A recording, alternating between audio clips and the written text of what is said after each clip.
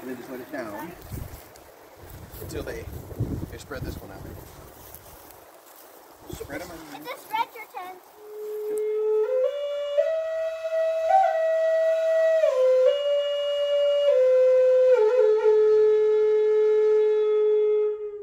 Normally we trim these poles. And before you put any weight, make sure it's nothing that's gonna rip. I mean, I can fix them. but- Okay. Now the true test. Watch Bonnie do this. I'm Bonnie's like, That's not built for me. me?" Try it on this side. Step back, George. Thanks. You can just a little bit. I'll do it. I'm gonna, I'm And then I'll, I'll, so you want me to describe what we did Sure. before it 71 collapsed? pounds. So that rolled again. I'll go over and get it. So we took, uh, I just, just quick lash with fast ropes, to uh, longish poles, six foot or higher, and just made a kind of a rough A and leaned them up against trees so they don't have to be stabilized. They're not freeform. This forms a wedge. We run the two poles through a couple of the UV hoods to stretch them. Henry. And you can see how they kind of go through there. All right, we just slide them through there. You could also use this as a stretcher in an emergency. Now, in the past, when I've gotten in them, they, they tend to slide, go, ride up these ramps or down. So I'll, sometimes I'll just throw lashings at the corners once I sort of stabilize where I want it to be. Mark, do you have that axe I can borrow real quick? I just want to a pop little that knob. knob off there so it doesn't rip my Axe is over here. axe hood. Thanks. Uh, my little knife won't do it. Thank you.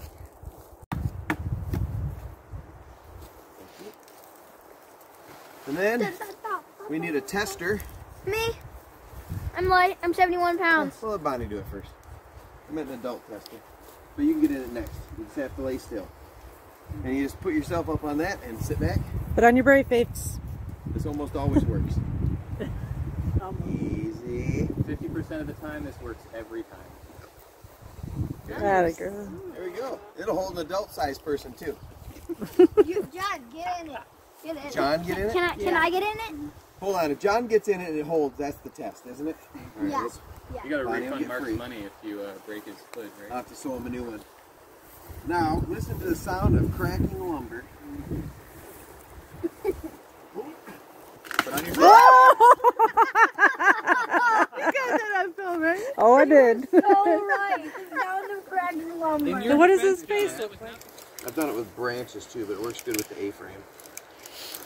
With a friend. So I'm going to lean these back a little bit so I've got room to sag between them.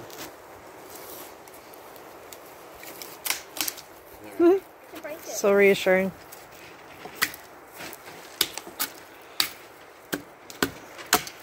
Okay. So get the hood.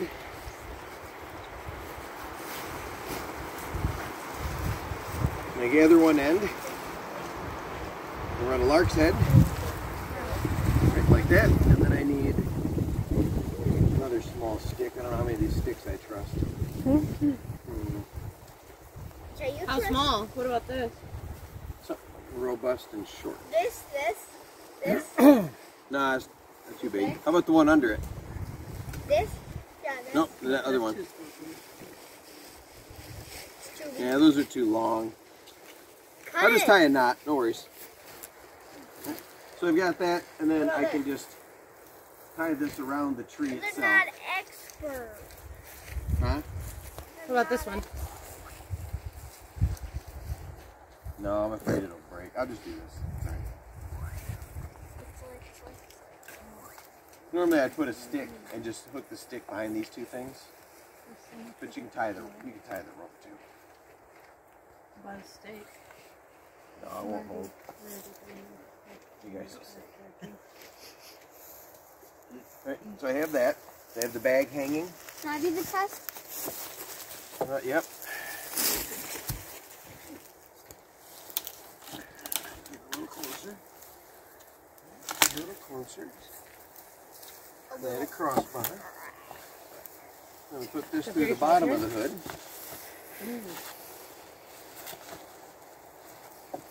So it drops down about there. And again, you might want to lash that. All right, let's see how this goes, Henry. Oh, I need a longer one. Oh. I think that's that one's too weak. Well, I just used the thicker end of it. Makes it more entertaining. He just slid. Oh, Matt's got a good What, one here. what if he did that like way up in the tree and if he fell? Spread that out real far. Meh. Oh, I'd have to lash these up higher, so I got a little bucket to sit in. Yeah, the official old man grunt as you get down. Nice. Now, if we tie this up, if I lash these real quick up this way, you got a little bucket to sit Same in. way as you did with the X in the X. Yep.